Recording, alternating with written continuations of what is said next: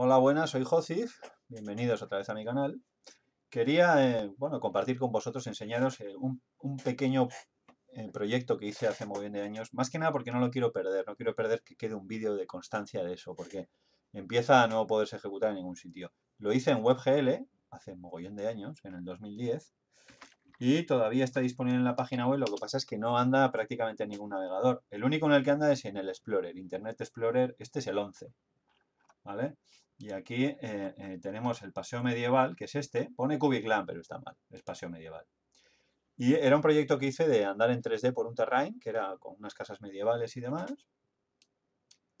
Eh, me llevó bastante tiempo hacerlo y creé un andador para poderlo hacer. Es este. Había lluvia, había rayos, el terrain me llevó, ya te digo, estuve yo diría que prácticamente un mes solamente haciendo este proyecto. Porque tuve que programar la lluvia que choca con el suelo, tiene, tiene salpica, tiene ha salido un rayo. Y había pájaros, había mogollón de cosas, o iban andando. Tienes media hora para recoger unas gemas, creo que eran 5 o 6 gemas, que están donde veis los rayos eh, color rojo. Pues tienes que pillarlas, eh, tienes que llegar a ese rayo y coger la gema. Parece fácil, pero es que según te acercas, el rayo desaparece. Entonces, claro, no es tan fácil. Luego el terreno es bastante grande. Yo os digo que me costó bastante hacerlo, lo hice con Unity 3 en aquel entonces. Pillé unos modelos que no sé los autores, eso es una cagada. Eh, cuando hacéis cosas que son de gente que os lo está dejando gratis y tal, lo lógico es en los créditos decir modelo hecho por no sé quién o lo que sea, porque son eh, es una manera de darle las gracias al tipo que te, ha dejado ese asset gratuito. Y a él le viene bien.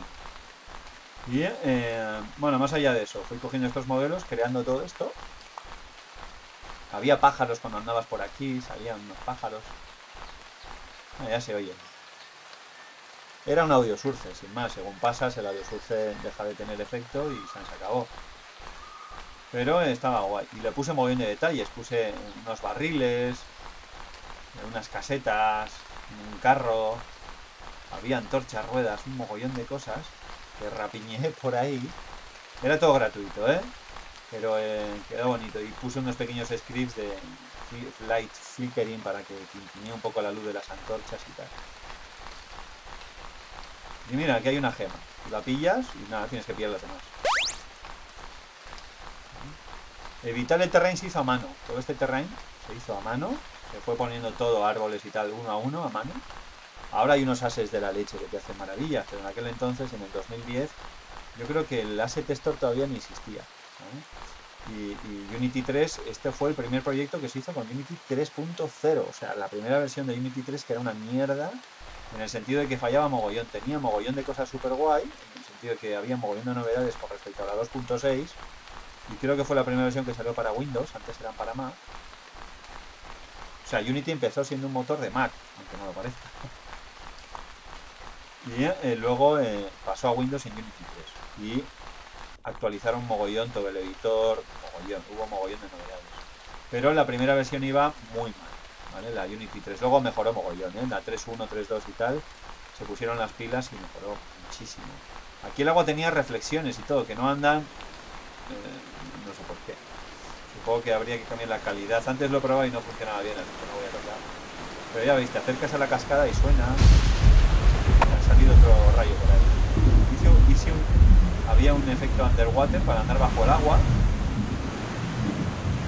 era de los primeros efectos que programé y los primeros tutoriales que hice en YouTube. Está la cascada y demás. Y nada, tenías que recorrer todo y a pillar todas las gemas. Y el terreno es, la, es grande. Editar la mano llevó mogollón de tiempo, tiene mogollón de detallitos y mogollón de scripts que añadí, eh, fui metiendo de los tutoriales que había ido haciendo. Estaba guay, en ese sentido estaba guay.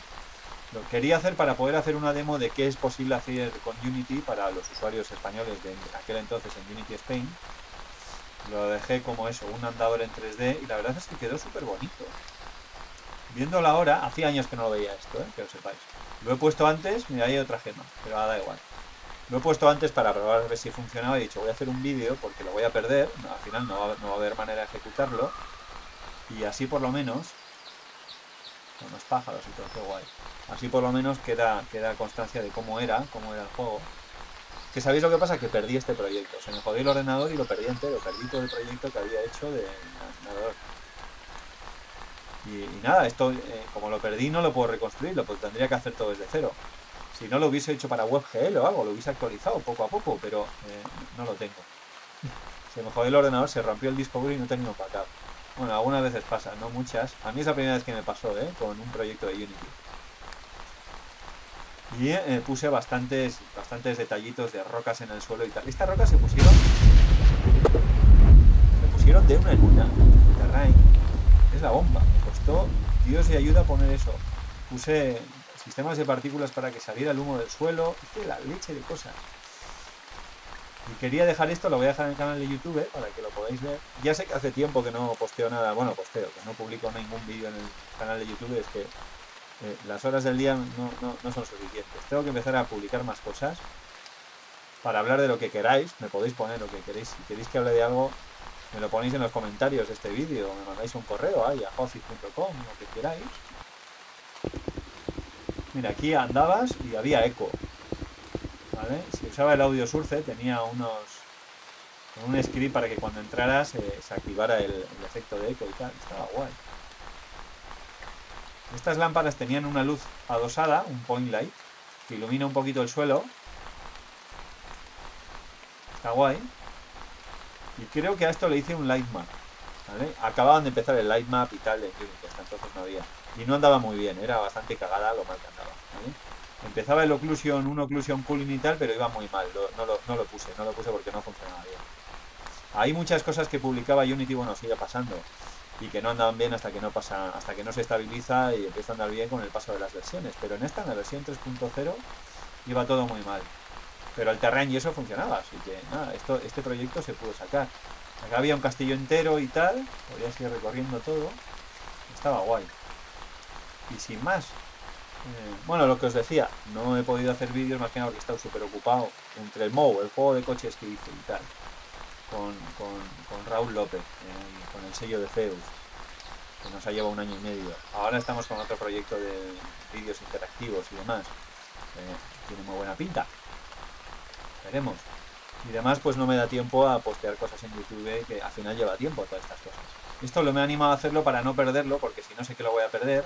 Y como hoy, que es domingo, me ha tocado currar, tenía cosas que hacer y tengo que currar, pues he dicho, voy a hacer un vídeo rápidamente para que quede, quede por lo menos el vídeo de cómo era el, paseo medieval antes de que sea imposible ejecutarlo. Está guay. Y tengo que postear vídeos de varios proyectos que hemos hecho. Hicimos Biomechanical PES con Mo, con Zeus Software, que es una demo para la que buscamos financiación y no conseguimos, por ejemplo. Pero eh, la demo quedó muy bonita, el vídeo de la demo, un, teaser que hicimos quedó súper bonito, la verdad es que era un juego de plataformas acojonante pero costaba una pasta y no nos podíamos meter. Y luego, bueno, pues hicimos el de coches y demás, que al final nos llevó muy bien de tiempo, no pensábamos que iba a ser un proyecto tan largo, se nos complicó bastante, también es verdad, el juego es bastante ambicioso. Yo diría que estamos en el borde ahí en ese juego de lo que dos personas pueden hacer en un año y medio. Metimos horas como locos y al final no conseguimos pasta, nos pasó por autopublicar, una cagada. Pero bueno, uno aprende de errores, lo que pasa es que no puedes cometer demasiados, porque al final si no quiebras, te quedas sin pasta. Pero bueno, esos son temas para hablar en, otros vídeos. Y ya veis, este terreno tenía de todo, tenía tiene una zona de bosques, esto que sería prácticamente como una especie de llanura rara donde tienes que ir andando, en fin, mogollón de cosas. No voy a seguir, voy a parar porque casi son 10 minutos, no quiero extenderme con los vídeos, ¿vale? si hago vídeos voy a hacer vídeos súper cortos, de 10-15 minutos como mucho, porque si no aburren. Yo me acuerdo de esos vídeos que tenía de de los tutoriales de coches y demás, o del Cubic Land de una hora y dos horas, que primero me costaba muchísimo tiempo hacerlo, era mogollón de trabajo, eran días y días grabando y haciéndolo, y luego es muy pesado ver todo eso. Sé que hay gente que los vio porque luego hizo videojuegos en 3D o lo que sea de FPS y tal, y usó, mis vídeos y el código que yo hacía. Pero eh, lo normal es eh, hacer vídeos cortos. Tiene más lógica para que no os canséis al verlos. Este, por ejemplo, puede ser cansino si paso los 10 minutos. Es más, ahora mismo ya me parece cansino a mí, estoy hablando yo. Que sin más, voy a parar. Mira, aquí había otro edificio, aquí había un espejo y aquí había un montón de cosas. podéis jugar a él, esto está disponible online, ¿vale? Esto se puede ver. Os metéis ahí en, en y cogéis el, el, paseo medieval, bueno, podéis ver los demás proyectos. Pero este estaba, estaba bien, quedó bonito. Quedó bonito, estoy súper orgulloso de esto que hice ahí en, un mes en mi casa. Estaba parado, estaba en el paro, no tenía, no tenía trabajo ni nada y me puse a hacerlo. Dije, voy a hacer alguna cosa guay para Unity Spain y tal, y para mí, para que quede... Para que quede algo chulo y tal. Hice esto. Ah, no era un espejo, era una especie de cristal reflectante raro y tal. Está jodido, ahí hay un fallo. Es la hostia. Pero aquí hay madera, puedes andar por la madera y suena madera cuando andas. Y suena a suelo o a, alfombra y tal. Cada, sitio tiene sus pasos. Me imagino que lo haría usando tags o alguna cosa así. Pondría un tag en cada objeto y con un código, dependiendo de qué tag donde estés pisando, eh, cambias el sonido. Algo que no es nada difícil de programar. Bueno, sin más, lo voy a dejar, que son 11 minutos, es demasiado, eh, un saludo a todos después de tanto tiempo. Espero que os guste este vídeo, aunque veáis un poco de él solamente. Y sin más, hasta próximos vídeos que voy a sacar. No os preocupéis que voy a intentar sacar vídeos más a menudo para que por lo menos los pocos que me seguís, pues me podáis seguir, porque claro, yo también estoy en la inopia y a veces no saco nada. Un saludo a todos y hasta luego, adiós.